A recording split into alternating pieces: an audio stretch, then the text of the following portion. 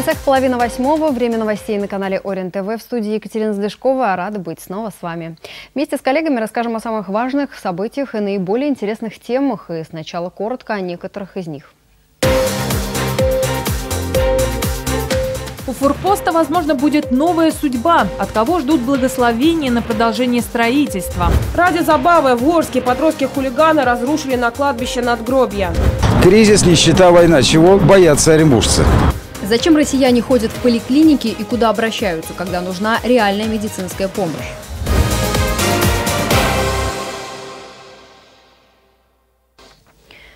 Ждут окончания экспертиз, а также выплат. Сегодня в Орске приступили к рассмотрению первого иска к компаниям «Саратовские авиалинии» и «Альфа-страхование». Со своими требованиями обратились, обратилась мать погибшей в авиакатастрофе жительницы Орска.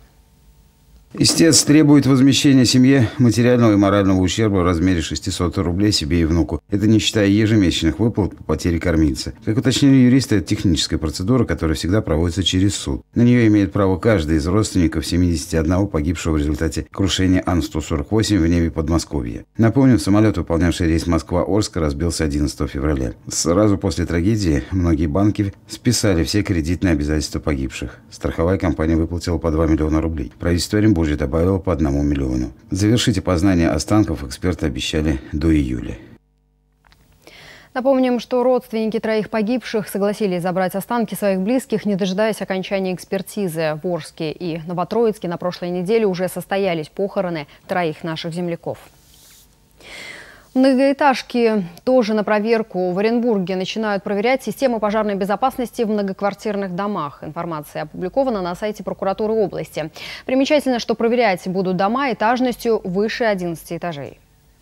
Буквально две недели назад на Комсомольской горел 17-этажный новый дом. Из квартиры, на балконе которой и начался пожар, спасли мужчину. При этом жильцы дома говорят сразу о нескольких проблемах. Во-первых, во двор не смогла въехать пожарная машина. Во-вторых, не сработал датчик пожарной сигнализации. Муляжом оказалась и кнопка пуска дымоудаления. Лифты в нарушение всех норм работали. Дом построен два года назад и введен в эксплуатацию после одобрения всеми надзорными структурами, в том числе и пожнадзором. Здесь обошлось обошлось без жертв. А вот в феврале на Салмышской погибла целая семья. И, как выяснилось после, в доме также не работала система противопожарной безопасности. Тогда мы проехали по нескольким домам, в которых должна быть эта система, и посмотрели, в каком она состоянии. В пожарных щитках не было рукавов, светильники на лестницах и в подъездах не работали. Сами извещатели были частично демонтированы. По данным прокуратуры, в Оренбурге около 100 многоквартирных домов этажностью свыше 11 этажей и больше, где вполне возможно допускаются нарушения нарушение правил и норм пожарной безопасности. Прокурор Оренбурга потребовал организовать и провести в них проверки.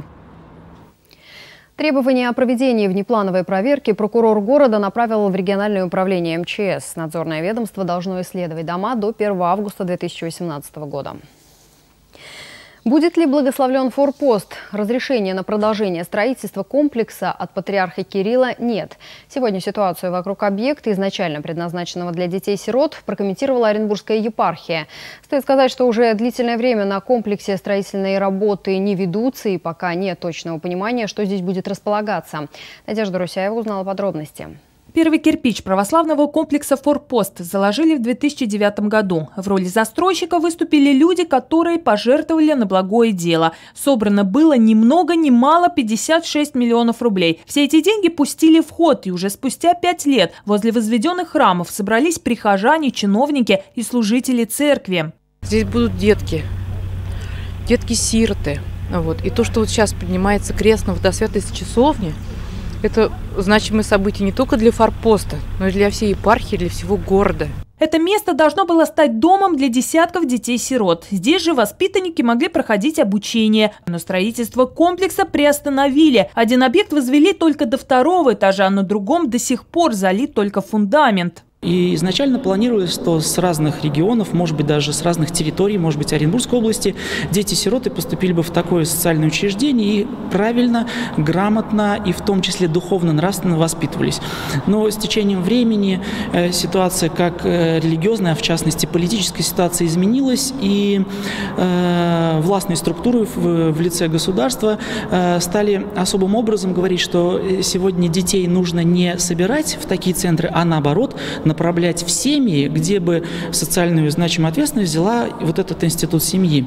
О судьбе этого замороженного социального объекта, на который были потрачены народные миллионы, речь идет уже много лет. Говорили и летом прошлого года. Тогда священнослужители еще не исключали, что в комплексе все же смогут жить дети с ограниченными возможностями. Есть категория детей, над которыми, не знаю, вы, вы э, а в дальнейшем, может быть, и будут детишки там. Там это уже как Богу угодно. Может быть, будут там э, привлекать детей-инвалидов, которые это, слабослышащие, то есть глухонемые вот, и слепые. Но сейчас в Оренбургской епархии говорят только о том, что этот объект, возможно, станет женским монастырем. За основу взяли московскую Марфо-Мариинскую обитель милосердия. О новом предназначении Оренбургская епархия сейчас поделилась с патриархом Кириллом. Благословения пока нет, а значит и строительной техники на благодатном месте. Надежда Русяева, Петр Рукин, Орен ТВ.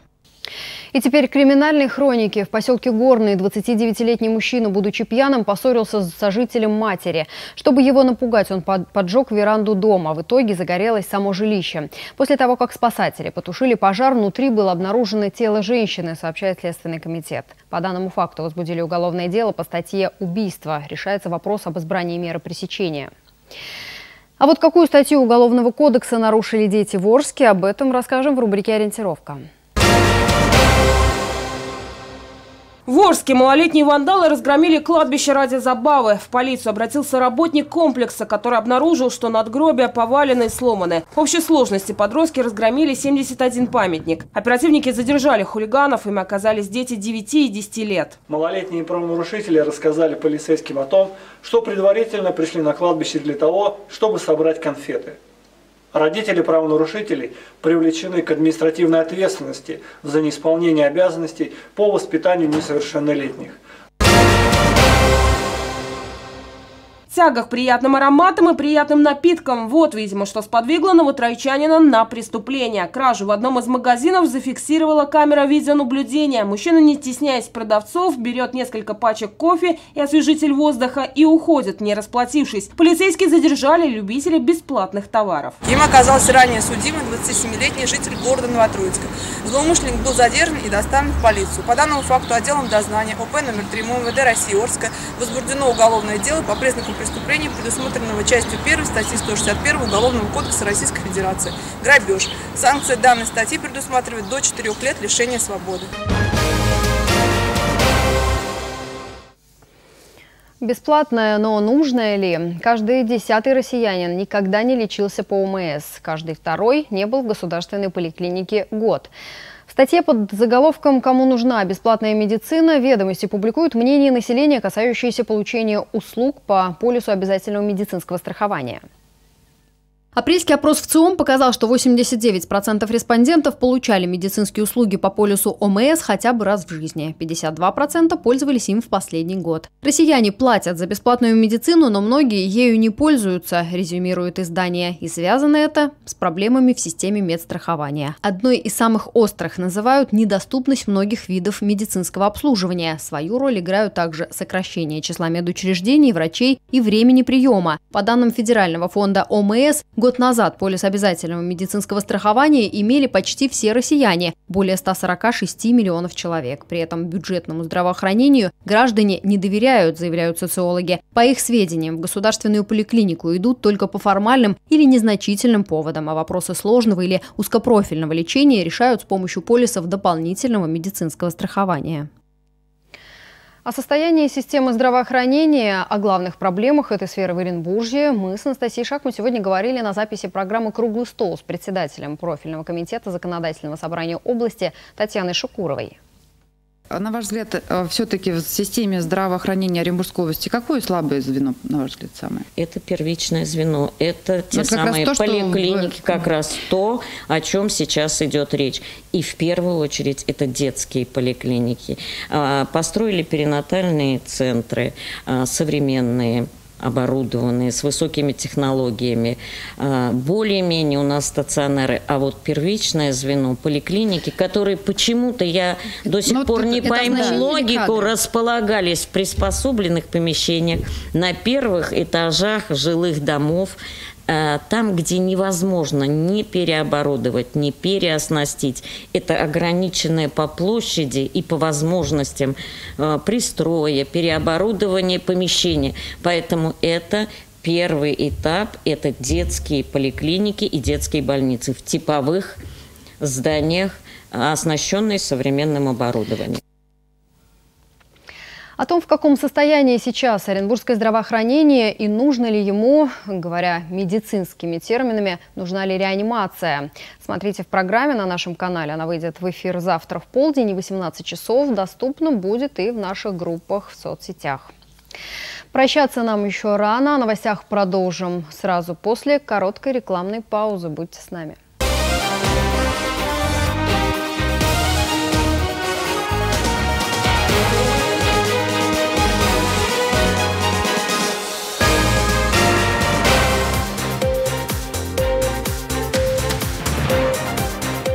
Спасибо, что остались с нами. В эфире новости. Продолжим.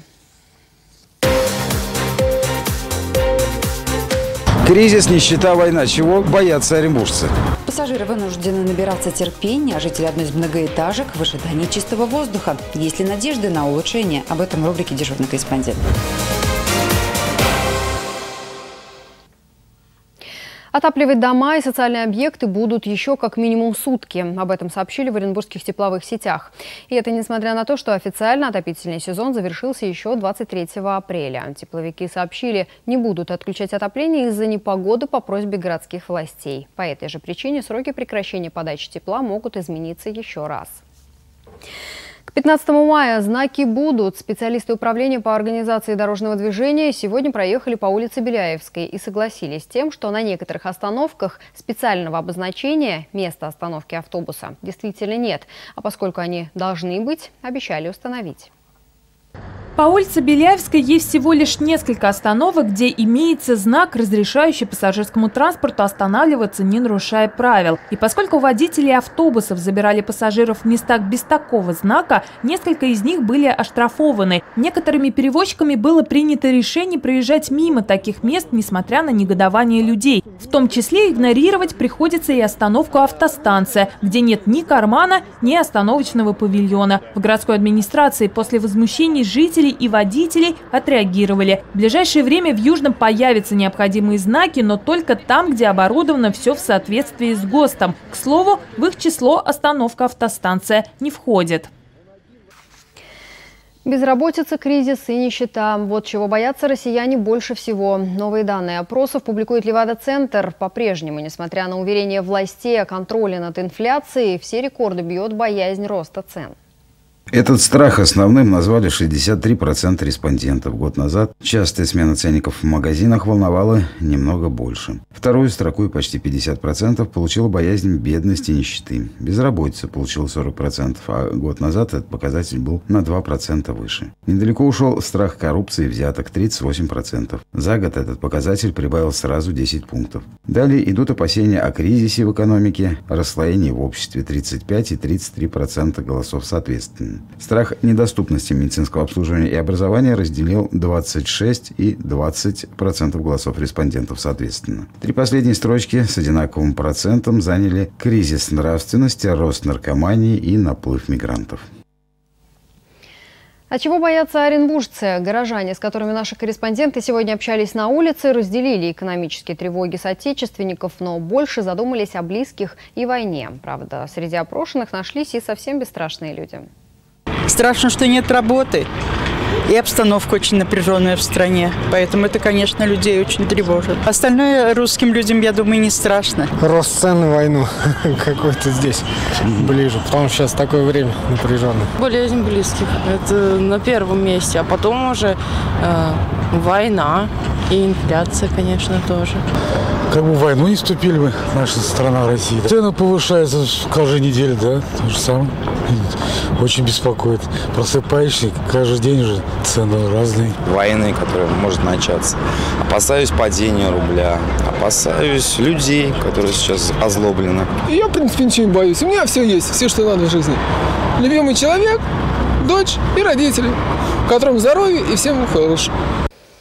До конца своих дней был верен профессии. Сегодня в Оренбурге установили мемориальную табличку ученому, доктору медицинских наук, профессору Якову Иосифовичу Коцу. Выпускник медицинского Оренбургского государственного медицинского института прошел путь от врача Ташлинской районной больницы до заведующего кафедрой госпитальной терапии. Почтить память, сказать теплые слова, возложить цветы. На церемонию открытия пришли родные, друзья, коллеги и ученики Якова Коца. Мемориальную табличку установили на здании терапевтического корпуса областной клинической больницы номер 2 на улице Невельской. Именно на базе этого учреждения 50 лет трудился ученый. Обучал студентов азам терапии, кардиологии. Среди учеников 10 докторов, больше полусотни кандидатов медицинских наук. Он отдал свою жизнь здоровью людей и сделал в этой области очень много. Мемориальная доска, которая сегодня установлена, это дань маленькая толика дани нашего уважения этому замечательному человеку.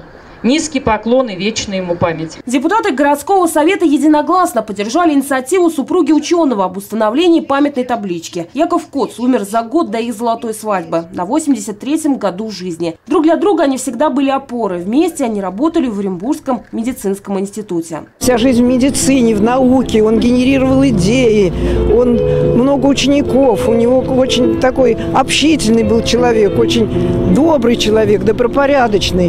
И к нему шли люди просто за советом. Яков Коц работал в трудные годы, когда не было современного оборудования, средств, технологий. Он все равно сделал прорыв в медицине. Он является автором более 300 научных работ, с автором учебника по кардиологии и нескольких монографий, среди которых ишемическая болезнь сердца, удостоенная высокой премии. Время ожидания автобусов для некоторых пассажиров увеличивается на часы, а за чистоту воздуха борются жители многоэтажки по переулку Дальнему. Так оправдаются ли их надежды на улучшение ситуации, знает наш дежурный корреспондент.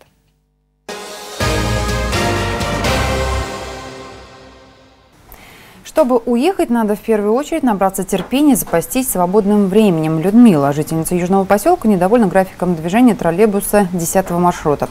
Накануне она ждала транспорт 1 час 15 минут. Ездит на троллейбусе из-за экономии, говорит женщина. В управлении пассажирского транспорта пояснили, что на рейс по 10 маршруту ежедневно выходит 6 машин. Если происходит задержка, это, как правило, связано с ситуацией на дороге. Возможно, ДТП на улице или отключение энергии. Но в случае Людмилы а, пообещали выяснить все детали. Как и проверить, почему приходится долго ждать автобус 33-го маршрута? Это уже вопрос бабушки юной оренбурженки, которая ездит с улицы Ноябрьской в художественную школу и ждет автобус не меньше 45 минут. Как работают автобусы на этой линии? Ответ от городской администрации мы ждем уже завтра. Дышать тяжело жителям 45-го дома э, по переулку Дальнему. Они задыхаются от зловония канализации. В редакцию жалобами обратились сразу несколько проживающих в этом, по этому адресу. Рассказывают, что регулярно система водоотведения неисправна. Жалуются на нерасторопность руководителя управляющей компании. В их доме она создана самими жителями председатель которой, Алексей Павлович, посетовал, что действительно постоянные засоры, последний был вчера – добавил, что трубы в доме новые, а вот от дома до колодца старые. Вот там-то и сложности, ведь люди сами виноваты, рассказывает председатель, кидают в смыв тряпки, рыбьеголовы и средства гигиены. Он призывает жителей к порядку и обнадежил, что трубы от дома до колодца поменяют летом, и тогда, возможно, о проблемах с канализацией люди забудут. Спас собаку, а теперь ищет ее хозяев. В редакцию позвонил Антон. На перекрестке улиц Терешкова и Орск он увидел собаку, которая лежала без сознания. Это был той-терьер, на нем был ошейник. Очевидно, пес был сбит. Сейчас Антон выхаживает и ждет звонка хозяина, который, видимо, потерял своего четвероногого друга. Телефон Антона есть в редакции. Проявляйте и вы заботу друг о друге, а если требуется наша помощь журналистов, звоните, номер вы видите на экране. Первомайский призыв профсоюз Оренбургской области у себя на странице в социальной сети выложил видео, которое, судя по всему, должно сподвигнуть нас с вами прийти на демонстрацию 1 мая. При этом Федерация организаций профсоюза в Оренбурге не согласовала с организаторами монстрации совместное шествие. Монстрация – это массовая художественная акция с лозунгами и транспарантами. Впервые в России она прошла еще в 2004 году в Новосибирске. Участники выходят, например, с такими плакатами «Он вам не лимон, прекратите оскорблять чувства верующих. Россия без Агутина. Так вот, Федерации профсоюзов назвали это актом нравственной распущенности, которая направлена на высвобождение самых низких человеческих качеств и пороков. А вот, к слову, как выглядит сам призыв профсоюзов. Перво, перво май, профкомом отдыхай, С лозунгами вместе, профком и мир тут май. Перво, перво май, друзей ты собирай. Стоит отметить, что в администрации Оренбурга монстрацию также не согласовали, сообщив, что в этот день пройдет масса других уже согласованных мероприятий. У меня пока все. Подытожим в 23 часа. Помните, что все новости вы можете смотреть и в интернете. Желаю вам приятно и с пользой провести этот вечер.